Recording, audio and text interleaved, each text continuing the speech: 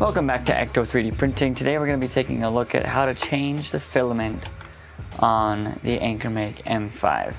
And I kid you not, this is the amount of filament that was left after my latest print. So we're going to change out the roll to a brand new fresh roll of filament. So let's take a look at how to load and change filament on the AnkerMake M5. All right, so the first thing we need to do is we need to go into control and extrude, and then it'll ask us to uh, lift the nozzle away. So we'll go to move and we'll go home. We need to home before we can move it because it has not homed itself since being turned on. So that one's home, then we need to home the Z-axis as well. That way it knows where it's at and it'll know that it's not gonna run into anything. Okay, now that it's all homed, we can go up. We don't want to block the nozzle.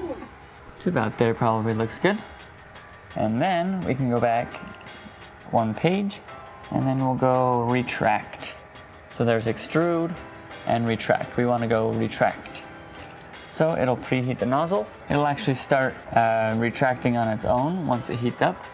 And we may even see this little piece uh, move a little bit. All right, the nozzle's almost up to temperature, and there it goes. It's trying to retract itself. So it did one run of retracting, and sure enough, this little piece has gotten longer. So we'll just run it again until we can pull it out. So I'll keep kind of tugging on it a little bit, then I'll hit retract it again. And it'll heat up, and then once it's good, it will retract and I think it's far enough that we can just pull it all the way out. Cool, there we go. There's our last little bit of filament. Now when I first unloaded the filament, I was pushing the little button here, but you don't need to do that for retracting, you just need to do that for loading the filament. So now that we've got our last bit of filament out of the machine, let's switch over and load up a new filament. So this next filament we're gonna be loading up is the Overture Silk Gray filament. This is not sponsored by Overture, but Overture, if you're watching somehow, reach, reach out. I love your filament. As you can tell, I've got a bunch of stuff printed out in the copper silk, which turned out really cool. But anywho, this is Overture Silk PLA Gray. So let's go ahead and crack this open. All right, so we've got our new roll of filament out, nice and shiny.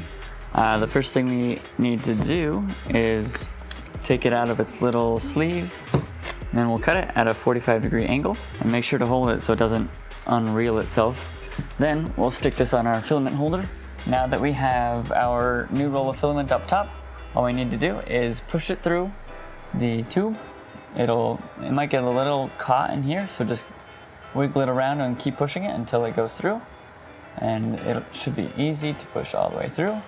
And then once it stops you'll want to push down this little button here and then keep pushing the filament. So we'll do that. So push down the lever and push the filament until it stops. So mine didn't go too much further because there's probably some filament still in the nozzle um, or the hot end, but it should be good now.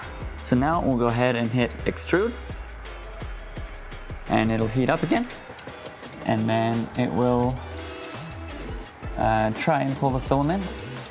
The driver puller motors aren't quite grabbing onto it. So we'll hit extrude again.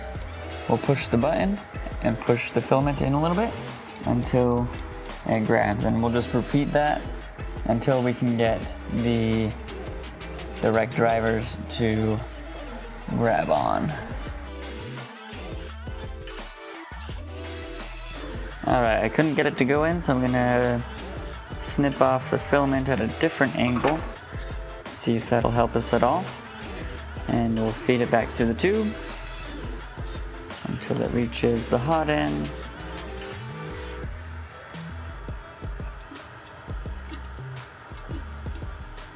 There we go. So we got it. It just took a little bit extra uh, trimming. I just had to trim it off at one more angle. And there we go. We have our silver silk coming out. So let's go a few more extrusions just to purge out all of the black that's left.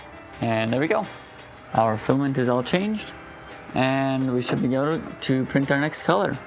All right, there we have it. How to unload and load filament into the AnkerMake M5. I hope this video was helpful to you. If it was, make sure to hit that subscribe button because I will be making more helpful videos like this one. If you have any questions, go ahead and leave them in the comments below, or any ideas or suggestions for future videos, also leave them down there below the like button. And until the next video, catch you later.